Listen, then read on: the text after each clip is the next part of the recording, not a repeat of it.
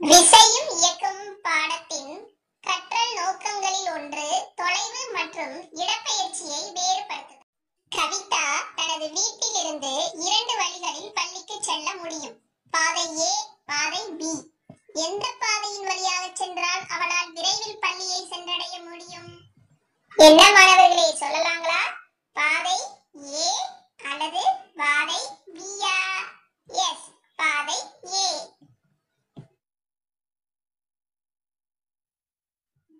இந்த படத்துல இந்த ஆப்பிள் பள்ளியில் இருந்து பாதை ஏ வழியாக விளையாட்டு மைதானத்தை சென்றடைகிறது. பாதை பி வழியாக வீட்டிற்கு சென்ற பிறகு விளையாட்டு மைதானத்தை வந்தடைகிறது எந்த பாதையின் நீளம் அதிகமாக உள்ளது? எந்த பாதையின் வழியாக சென்றால் விரைவில் விளையாட்டு மைதானத்தை சென்றடைய முடியும்? என்ன மாணவர்களே கண்டுபிடிச்சிட்டீங்களா? பாதை பி யின் நீளம் அதிகமாக உள்ளது ஆகையால் பாதை A யின் வழியாக சென்றால் விளையாட்டு மைதானத்தை விரைவில் சென்றடைய முடியும். மேற்கண்ட நிகழ்வுகளில் இருந்து ஒரு பொருளானது ஓரிடத்தில் இருந்து மற்றொரு இடத்திற்கு செல்லும் போது அவ்விரு இடங்களையும் இணைக்கும் நேர்கோட்டு பாதையில் சென்றால் மற்ற பாதைகளில் செல்வதனை காட்டிலும் விரைவில் அவ்விடத்தினை சென்று அடையலாம்.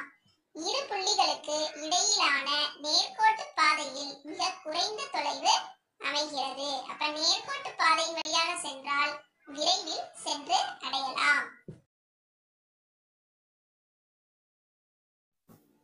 ஏ என்ற புள்ளிக்கும் பி என்ற புள்ளிக்கும் இடையே மூன்று பாதை இங்கே கொடுத்திருக்காங்க. முதல் பாதை வழியாக சென்றால் பத்து கிலோமீட்டர். இரண்டாவது பாதை வழியாக சென்றால் ஏழு கிலோமீட்டர் ஆகிறது. மூன்றாவது பாதை வழியாக சென்றால் ஐந்து கிலோமீட்டர் ஆகிறது. இதில் ஏ மற்றும் பி என்ற புள்ளிக்கு இடையே உள்ள மிக குறைந்த தொலைவு இடப்பெயர்ச்சி. மற்ற இரண்டும் தொலைவு ஆகும். அதே மாதிரி இந்த படத்துல பாருங்க.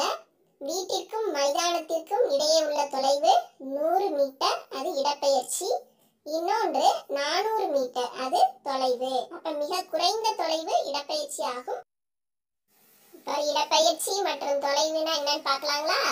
ஒரு இடத்திலிருந்து மற்றொரு இடத்தை அடைவதற்கு ஒரு பொருள் கடந்து வந்த பாதையின் மொத்த நீளம் தொலைவு எனப்படும். அதே இது ஒரு பொருளின் இயக்கத்தின் போது அதன் துவக்க நிலைக்கும் இறுதி நிலைக்கும் இடையே உள்ள மிக குறைந்த நேர்கோட்டு தொலைவு இடப்பெயர்ச்சி எனப்படும்.